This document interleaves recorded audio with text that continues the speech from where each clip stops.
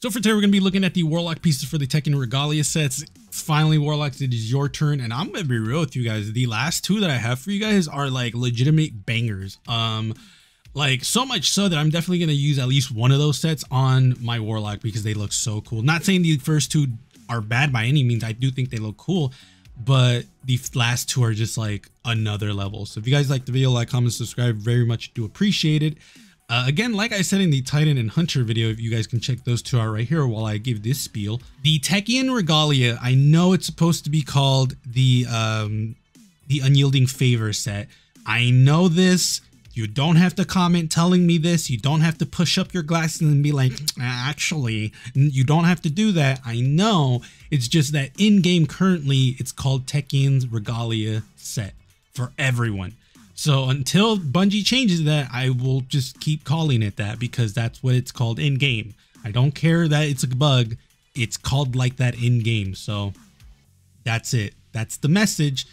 Please. I know. But if you guys like the video, like, comment, subscribe. I really do appreciate it. Again, we're going to be looking at each of the pieces. For this one, we're only not going to be looking at the at uh, the mark. Ugh. We're, we're going to be...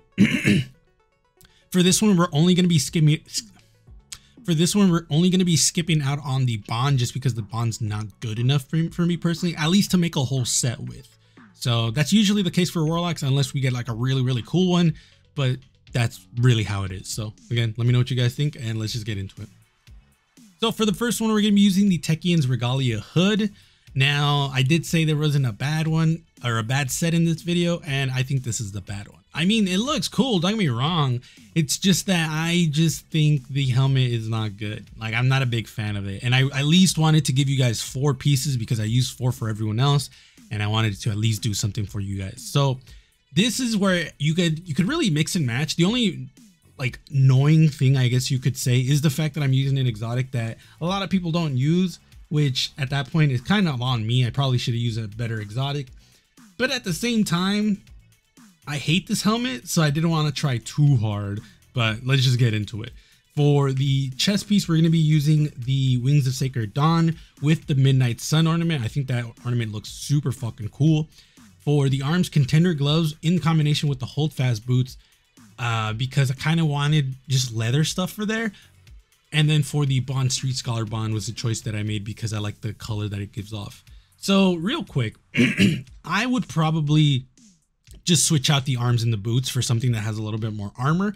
Hell, you could probably just use the Techeun Regalia boots and that would look really, really cool because the boots are really kind of bulky and it would look really good with the with this chest piece. And then the arms could probably switch out for another one that has armor on it. That would have been really cool as well. That's like really the only two things that I have to nitpick about this set because I think First Frost looks amazing with it. Granted, the blue crystals don't look as good with it because the blue crystals are actually like really a deep blue. But for me, I was just like, I don't give a fuck about that. I just want to have a really cool shader with it because I do think the Midnight Sun ornament looks really cool with the First Frost shader. So I think at this point, you would just have to switch out the arms and the boots. And for the boots, you could probably just put the Techeun's Regalia and just call it a day. And then for the arms, honestly, I would probably just put on something like something like the Tusk Allegiance arms would be really cool with this. So um, not saying that this is a bad set, it's just that I do think this is the weakest set from the whole sets. Now, the next set is actually one that I actually really, really like, using an exotic that I actually really like look-wise, which is going to be using the Dawn Chorus with the Phoenix Phoenix Renaissance uh, ornament. I think this ornament is amazing. Uh, this one, we're going to be using the Techeun's Regalia arms. Now, the reason I'm using the Virtuous robes is because I wanted something a little bit more bulky, not super bulky, but enough that it didn't look weird with the arms. And then for the boots, Empyrean Cartographer, because I wanted some boots, like actual boots, like metal boots. And for the Bond, Virtuous Bond was just a choice I made because I like to combine the Bond with the Phoenix Renaissance ornament, just because the Bond has feathers and obviously the helmet has feathers as well. So for the shader, Metro Shift was a choice I made just because I'm blue. Uh, you're definitely going to see a lot of blue in this because the arms also have that blue gem and I just didn't want to fight it. So nothing too crazy about this one. I just think a lot of these pieces look really, really cool together. Uh, you could probably switch out the Virtuous uh, robes for something else. But I definitely do think the Phoenix Resonance and the Virtuous Bond look really, really good together. So much so that I actually did combine this in another set, which I'll have right now. I made it for that video as well. And I just think this helmet is just fucking cool. So let me know what you guys think. I definitely like the arms, but it also does have a problem of just being so big that anything that you put on it, it looks like the arms are just eating it. So that's unfortunate. As for the next set, we're going to be using Techeun's Regalia Robe with the Fallen Sunstar Exotic. So this is super dope. I fucking love how this came out. For the arms, Dendrite Shimmer Gloves was an easy choice because again, I'm trying to go for like a regal looking Warlock and the arms just give off that vibe. Same thing with the Nemean boots. I think they give off that vibe of just being like royalty and I definitely wanted to use that. And then for the arms, Starfarer's Bond because I wanted something gold in there as well. And obviously this is gold. This one's super dope with Tortured Ivy as well. Again, I used Tortured Ivy for all the classes. Did not even notice that. Didn't even like do that on purpose. Just kind of happened. And yeah, I really like this set a lot. I love this. The the like uh chest piece is super fucking cool. And I just love almost everything about this set, if not everything, because even the color separation is really, really good.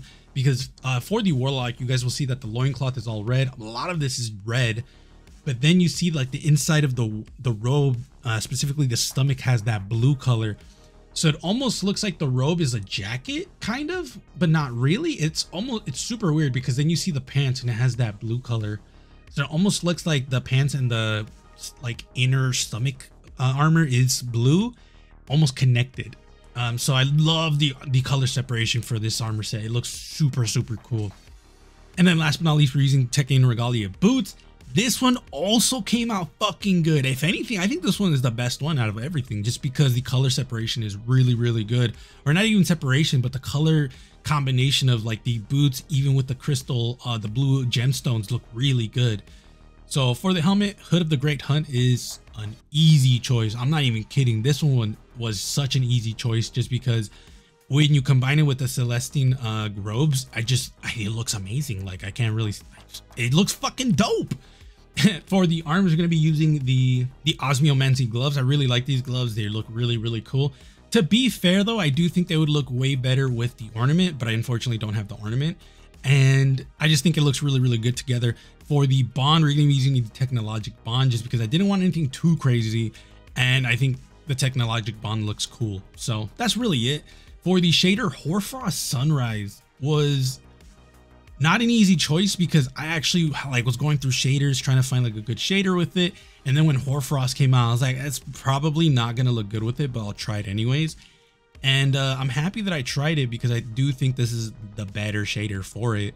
Uh, the blue is so good with the crystals on the boots, but it also just gives off like such a like royal vibe. Not even royal, but like I'm better than you vibe kind of deal.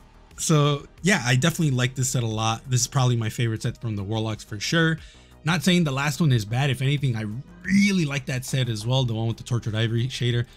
But when I just when I see this set, it just kind of it, it, hits me like, dude, like this looks so fucking good. Like, definitely a set that I'm proud of that I made. So, Warlocks, let me know what you guys think in the comments below. I, again, I really appreciate you guys. Uh, you guys have been killing it with the likes, comments, subs, and all that. And hopefully this year we start to see some more growth for the channel because fashion is what I like to do, man. I I love the the Destiny 2 fashion stuff. It's just super super dope. And yeah, I appreciate you guys going through this journey with me. Other than that, be safe and I'll see you guys later.